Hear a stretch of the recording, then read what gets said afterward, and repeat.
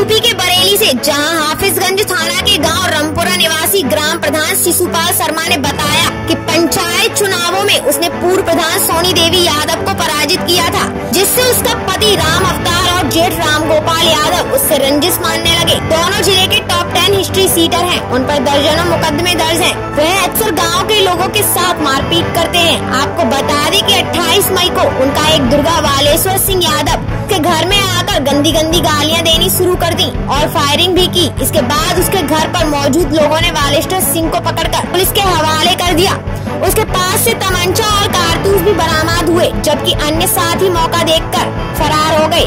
लेकिन पुलिस ने उसके फरार साथियों को तलाशने की कोशिश नहीं की, जिन्होंने गाँव के रहने वाले हरीश और बॉबी के साथ भी मारपीट की।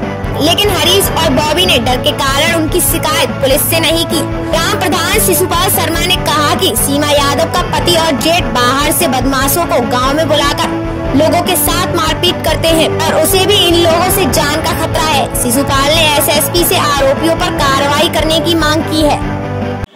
क्या नाम है आपका? मेरा शिशुपाल शर्मा नाम है? मैं वैसे तो किसानी करता हूँ। और इस बार ग्राम प्रधान चुनाव लड़ा। गाँव ने मुझे विजयी घोषित कर दिया। और मुझे जीतने के बाद अब जो गाँव में दबंग प्रवृत्ति के लोग हैं, वो जीना हराम कर हैं। किसी समय मेरी हत्या भी कर सकते हैं, क्योंकि वे बहुत बड़े हिस्ट्री सीटर भी हैं। उनके सामने किसी की हिम्मत नहीं कोई मुँह खोलनी सही बात आदमी अपनी नहीं कह सकता?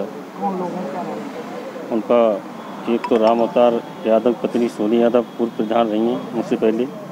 और बाकी राम गोपाल हैं। बाकी मेरी इनसे कोई कभी बुराई नहीं थी। पिछली बार ही मैंने इन्हें चुनाव लड़ाया था।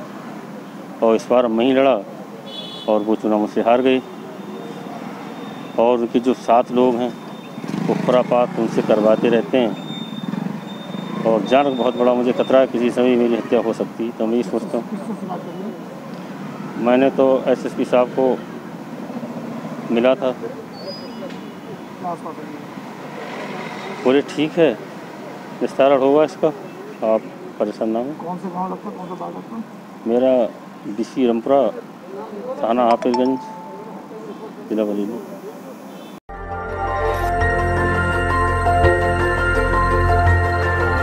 देखते रहिए डीबी भारती समाचार नज़र हर खबर पर।